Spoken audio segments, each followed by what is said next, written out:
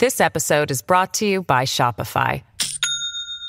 Do you have a point of sale system you can trust, or is it a real POS? You need Shopify for retail. From accepting payments to managing inventory, Shopify POS has everything you need to sell in person. Go to shopify.com/system all lowercase to take your retail business to the next level today. That's shopify.com/system.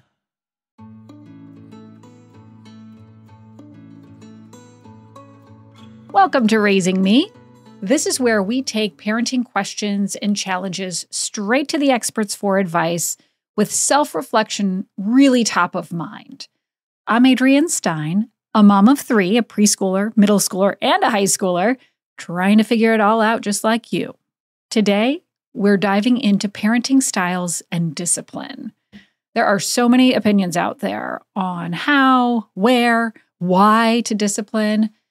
And there is a heck of a lot of self doubt when it comes with this, too. How about when should I be tough? When do I maybe let something slide for the greater good? What if what we're doing isn't working? And let's just be brutally honest here. What about when we overreact? I feel like a terrible mom when that happens. I know most of us, if not all of us, have been there too. So, what then? What can we do? Therapist Monika Eichler is going to help us walk through all of that and why looking back at how we experience discipline as a child is so important. Plus, the parenting style that can lead to raising the happiest adults. A lot of good takeaways today. Monika, thank you so much for joining us. We're so glad to have you here. And we're talking about discipline. Um, I, obviously, it's a basic part of parenting, right? But finding the right balance of it can be so tricky and there's so much self-doubt that can, can go along with it. Let's just start off with why why is discipline important? Discipline is just it's the overarching uh, context for really in some ways how we relate because even in those good moments those good moments are coming out of a sense of safety that the child experienced that i know my parents have my back that they will let me know. They will be my guides and let me know what it is that I need to be doing. What, you know, where are my banks? Coming back to your question of why is it important? Uh, if we have boundaries that are clear, that are developmentally appropriate for a child, it can be like a well oiled running machine.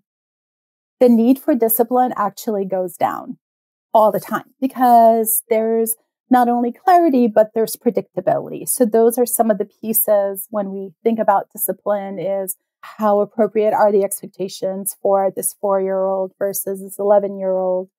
Um, are they just too much and the child can't handle it? Right. Or, uh, are they not in alignment? Like, no, four year olds really need to be able to do X, Y, and Z. A two year old, not so much. Yeah, no, that's so, and, and obviously it does depending on the child's age, it looks a lot different.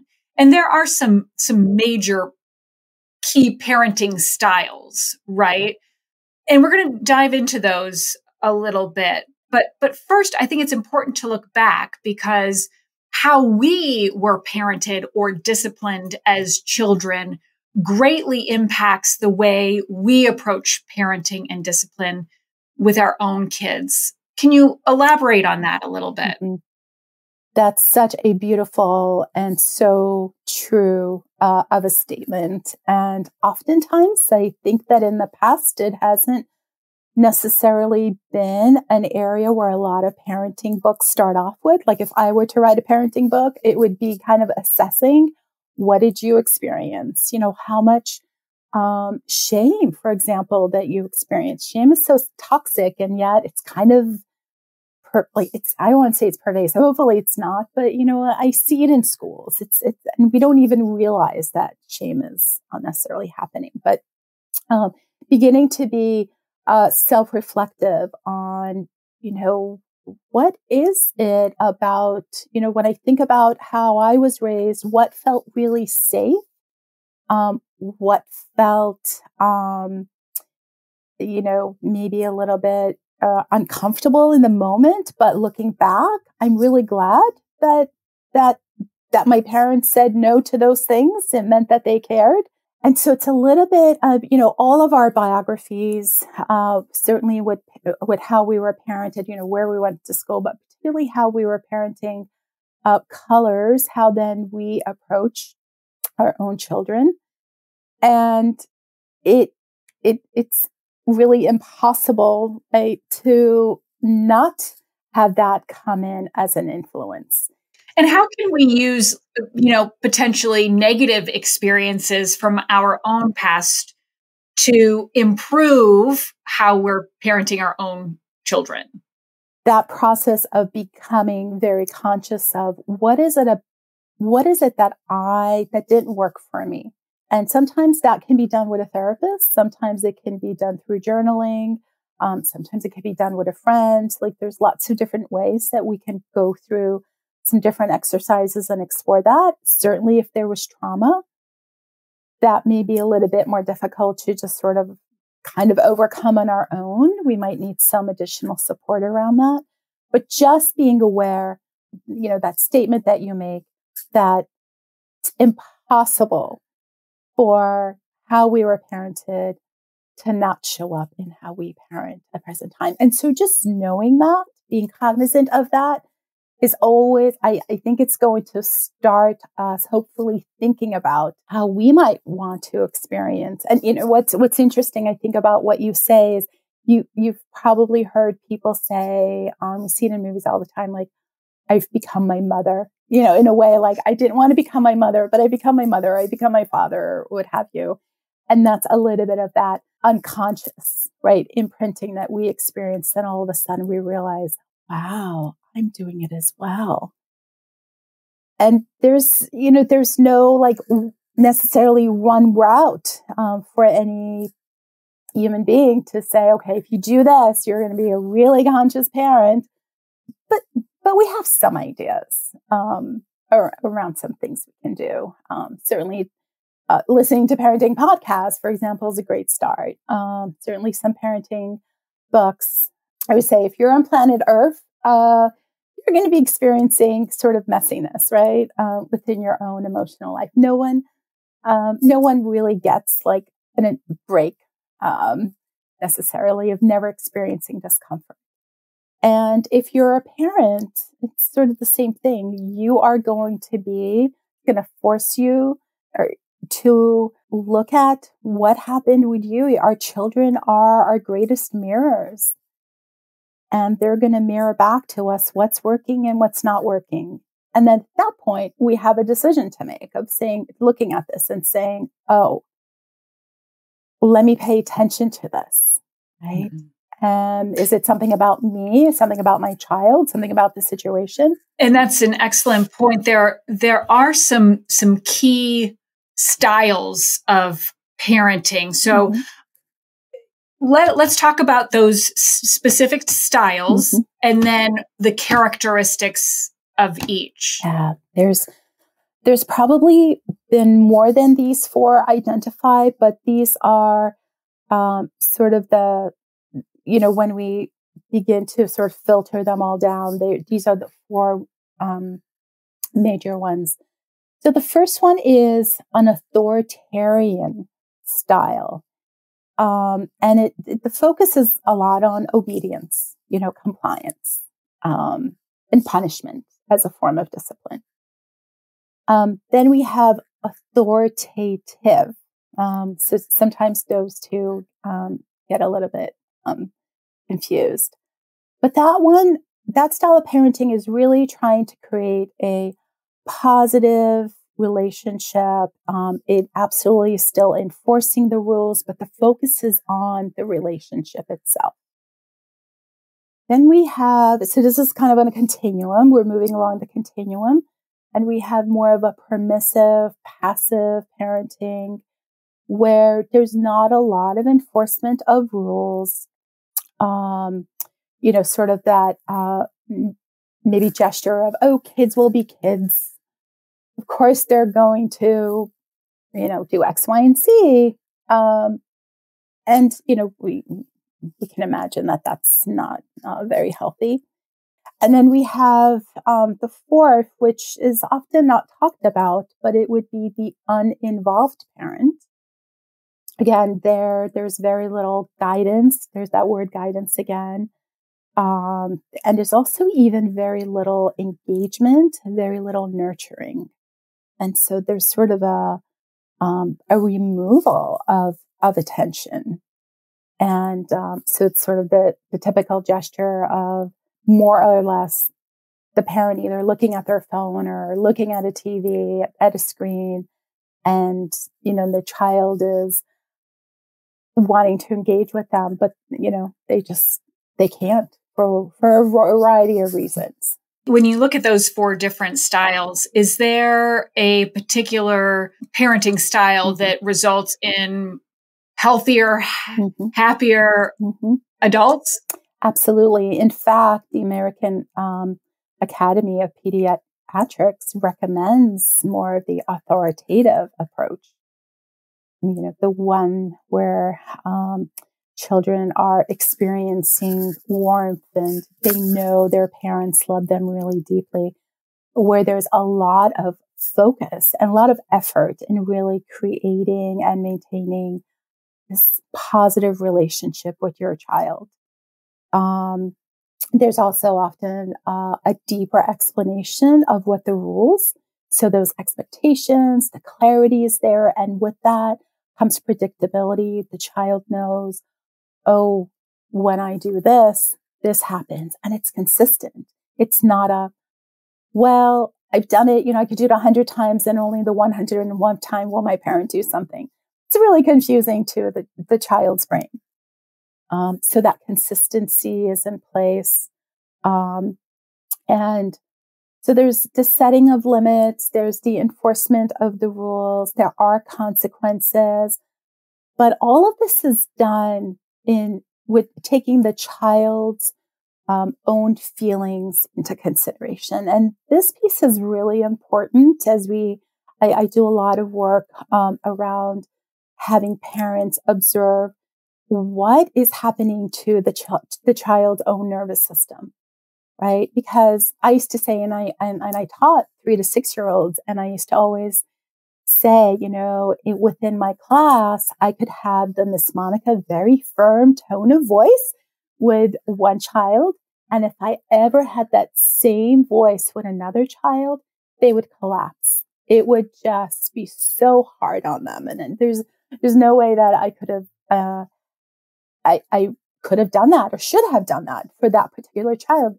A, they didn't need it, right? They, they saw the rule, they knew the rules but another child did need. And so that can be tricky, Adrienne. I don't know if you have more than one child, but then you're becoming like a, a different parent, you like three different mothers, right? Because your children's ability to um, uh, take in these uh, different ways, not only the content of the rules, but also the tone in which it's delivered. I have three kids, okay. age four, 10 almost 11 and 15 so i relate mm-hmm. to that different mm-hmm. mo- just age wise mm-hmm. not to mention right. the personality wise so it is a, it's a delicate dance and there have been many times where i'm like i feel like i handled that very poorly mm-hmm. and now what right. there's probably a question in that you know what what about mm-hmm. when uh, you feel like you've made a mistake in whatever a, a particular situation is when it comes to discipline? Yeah. Or how do you know what is just enough yeah. or too much or not enough? Yeah. This episode is brought to you by Shopify. Do you have a point of sale system you can trust, or is it a real POS? You need Shopify for retail. From accepting payments to managing inventory, Shopify POS has everything you need to sell in person. Go to shopify.com/system all lowercase to take your retail business to the next level today. That's shopify.com/system. I love that you're really asking this question because you're it's already telling me that there's maybe even a, a consciousness of being attuned to your child, like that you notice like, oh, that I, I may have I may have gone overboard with either the actual consequence or maybe how loud my voice was. Um, and I can sense that this didn't go down well. Um, and if you're a parent, I'm just going to say it's going to happen, right? Um, mm-hmm. and if you're a parent, what's also beautiful is that your children will give you another opportunity, either in the next hour or the next 24 hours, generally, um, to to redo that. To you know, how can I? How can we do this differently? So again, depending on the age of the child, I would say probably maybe starting at four. It kind of depends on the four year old. Um, once uh, everyone is maybe more on the calm side, of course, and our prefrontal cortex is working again, um, I would offer to say to your child, you know, that thing that happened earlier when you said this and then I said that, and then we ended up saying these things. You know, I I wonder how that was for you because for me, so you're modeling your own uh, experience and not too much, right? We're not wanting them to be responsible for our feelings, but we can say for me that it didn't feel good. And I wonder if we can do that differently next time. So there's, you know, you're not telling them, hey, the rules are not going to be in place. But what you're messaging to them is you matter. And I noticed that this was uh, really hard for you and I want to, and, and sometimes hard is okay, but I just want to let you know that I care about that. And you may still not go to the party because you lied to me about it. Um, and uh, I want to know, I, I want you to know that I, that perhaps we can have a different kind of, kind of conversation around how this might happen in the future. It, well, as we're thinking mm-hmm. about all, you know, how we're approaching this and what w- works, what may not work, um, when we identify that maybe a different strategy for a, a child is needed, it, it, can be tricky. It doesn't, it's not like you try something new and right. bam, it starts working. Right. There's some patience sometimes when you try to take a different approach, when you can tell something just is not, you're not getting through to your, your kid. Right. Absolutely. Patience, certainly with yourself and patience with your child you know, really looking at the environment. The environment has so much in terms of shaping our children's behavior. Often, I think a little bit more than what we might think it's more personality based. My child's not listening to me. Well, if there's a lot of high pre- preference activities that are going on in their environment, like screen times or, you know, other people that they're engaged with, yes, that's going to, for you to uh, expect that they will hear something that's happening, or, you know, 20 feet away. That's challenging or, or setting up a situation where it's going to be really challenging for them to really hear you. So in a situation like that, you know, uh, finding proximity, you know, seeing if they'd be willing to make eye contact with you. You're not always. Sometimes eye contact is too much for a child. Um, holding their hand, but the most important thing, Adrienne, and this is something that sometimes parenting books leave out, is what are you doing in terms of your own self regulation? Because if we're expecting our children to be in that place of being able to listen to us, there are things that have to first be in place. Number one, they can't have their own level of like upset already about something. Like maybe if they're processing something from school, right? And they're not telling us, we don't know, but there's sort of an inner level of agitation. Their ability to then be able to do this and this and this when they come home from school, put away your lunchbox. Okay, put your shit. It's just too much. Their prefrontal cortex, you know, is sort of diminished in that moment. And when you're noticing your own emotions begin to rise, it's really impossible for them to to be in that really calm place. So putting, you know, what does it mean? What does it look like for you to put on your oxygen mask? It for some parents I've worked with, it means, you know what? I'm going to make myself a cup of tea. And for them, that's symbolic of I'm tending to my needs right now. And I'm going to go ahead and I'm going to talk to them about what just happened. but I am first going to find that inner calm within me and whatever that looks like, right? Um, cause it's going to be different for, for everyone. But that is a, a, like, no matter what strategy you're using,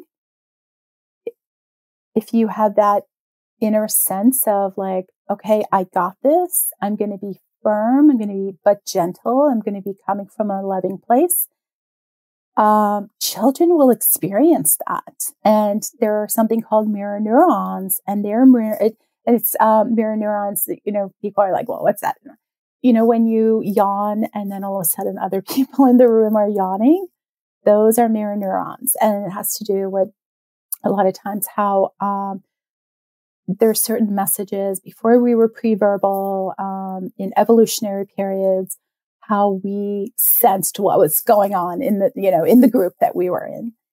Um, and so children are always sort of reading us, you know, reading our emotions, even non-verbally. And if we're not in an okay place, they're going to be a little bit anxious. And in that moment to expect them to, again, do X, Y, and Z, we're having two incompatible behaviors in their brain, right? So um, when something is not working, we want to ask ourselves, what am, what's going on with me? Um, and then what's going on with my child that isn't enabling them uh, to really be able to listen, both internally and externally. Yes, those are, that's great. And I think you know, ultimately we have to be the adults in the room. It is easier said than done sometimes in the heat of the moment, but finding that sort of mm-hmm. way to take the deep breath, whether it's that cup of tea or just stepping outside in the uh, sunshine for a minute or, you know, walking the block. Um, yeah. Oh, it could be, I was going to say, it could be also something that you do prior to uh, being in the room with your child, right? Or mm-hmm. picking them up from school. Um, so, how do you resource yourself? Is the phrase that I use if you're coming to your children pretty depleted and then they are showing up with needs because children have needs and you're already depleted, that's, that's where things begin to go awry and it puts everybody on edge. Absolutely. Right. And, and that's, I think a takeaway here is that that's normal. Like you, you're in good company if if you feel like that we all do it's you know the the point today mm-hmm. is is sort of identifying those things and figuring out how to get our get around it if there there there mm-hmm. was one key takeaway mm-hmm. for you monika today for for our audience what would that be the kind of overarching skill that we develop within ourselves as parent to be reflective and to review not only in the moment what happened, but kind of doing a nightly review within ourselves. Like, how did, you know, what happened there at, at kind of four o'clock? They had just had snack. They weren't quite doing homework. And all of a sudden, two of my kids went, yeah. And I said something because I thought it was really one. And, and just having a little bit of assessment of, hmm, and maybe not even talking to them. But what is it about that experience um, that I might want to shift? um, tomorrow. And it may work and it may not, but just hmm. the act of doing it, uh, first of all, will also model to children uh, problem solving because the next day you might uh, even say something, you know, I noticed yesterday that this over here wasn't working as well. And let's just be curious. Let's just because scientists, right, are curious. They want to know, like, what's going to happen if we do this and this? And so let's be curious. What happens if the two of you sit here? Is it going to be easier or harder? Can we just try it? And all of that is coming out of your own inner questioning of, hmm, how can I do this differently in a way that, again, if we go back to the authoritarian, authoritative style um, of parenting, how can I do this differently in a way that continues to foster connection right? That attachment, that nurturing, that is what really children need the most. And I do like that, you know, you brought a point up that we can reset if we have said something or we raised our voice uh, when yeah. maybe we didn't need to, but we were feeling depleted, that we can go, it's okay to go to the child and say, you know what, I wish I had handled that differently. And and not only is it okay, but we want our children to see that we're human. And we want them even, um, I think even more importantly, to see our striving to be sort of, you know, better, whatever that means, you know, the next time or the next day. Because they are also going to model that striving within themselves. And they're not going to be then, um, perhaps they will also be a little bit more, um, gentle and compassionate with themselves when maybe they might say something to someone and they might then have an easier time of saying, Oh, well, you know, I was thinking about what you said to me yesterday and then I said that and, you know, that didn't feel good, right? They're, they're going to be doing the same thing that you did with them. And I think most parents would want their children to also have those not only self-reflective skills, but also the skills then to be able to go back and say, oops, I messed up. I messed up. Yeah. Redo. Yeah, that's life. Welcome to life for sure. Exactly. Monika, thank you so much. I really appreciate your time and your insight. We will have more on this on WGME.com slash raising me. In the meantime, have a great day.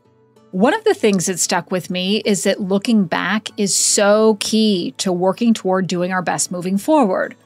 For example, what did discipline look like for you growing up? Really think about it. Was shame part of it? How did that feel? As Monika explained, that is so toxic. So, how can we do better? Just as importantly, what were the good things from your past that you can tap into to create a healthy situation for the kids? And this is probably what I'm keeping top of mind. It's okay when we mess up. Not only is it okay, it's healthy to reset and take responsibility with a hey, I did not handle that well. Here's what I was trying to say. And I hope we can do things differently next time. And of course, ask yourself today what does it look like to put on my own oxygen mask and do that? Thank you so much for being a part of Raising Me. I'm Adrienne Stein. This episode is edited by Megan Littlefield please take a moment to follow Raising Me wherever you get your podcasts. Of course, we really appreciate a positive rating and review as well so that others can find today's message. Until next time, I hope you learned something new and get to take a little time for you.